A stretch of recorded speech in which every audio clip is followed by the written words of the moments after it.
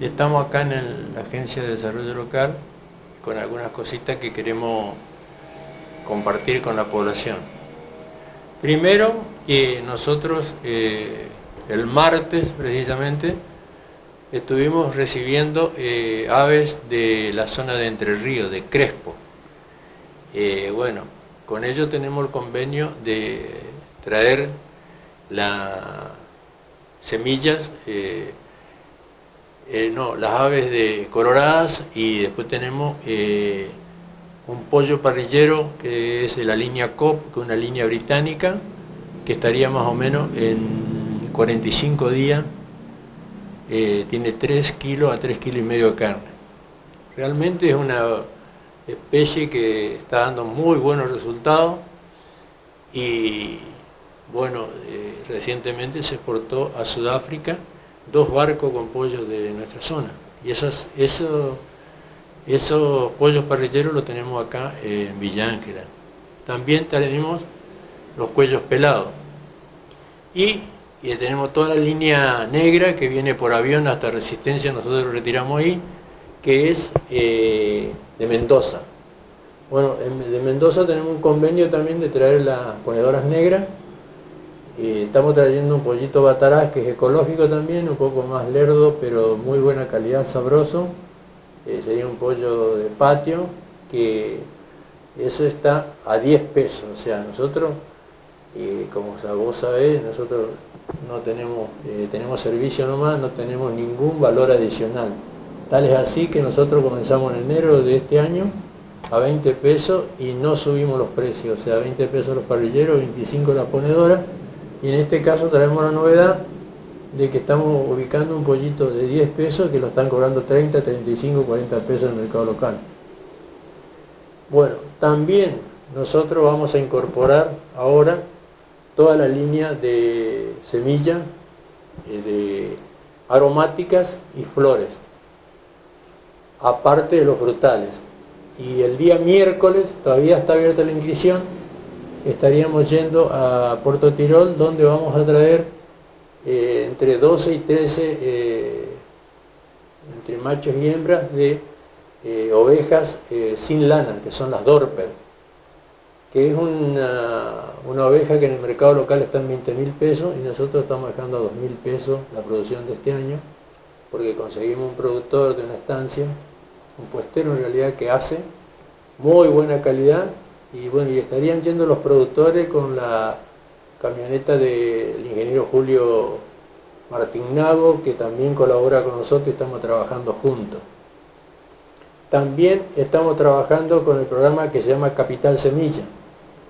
En realidad ya trabajamos con hasta 75 mil pesos, ahora vamos a trabajar con un proyecto hasta 100 mil pesos y más adelante eh, con, con proyectos de 150 mil pesos. Pero estos son todos créditos blandos al 10, al 7%, eh, que le damos a los productores la posibilidad de que en el campo se van a hacer trabajos eh, donde nuestra gente va a poder tener, eh, por ejemplo, comprar todo lo que sea tecnología, servicio, metalmecánica y con la única condición de que le agreguemos el valor agregado. El valor, el valor agregado en origen no, es más, más difícil explicarlo en teoría que en la práctica.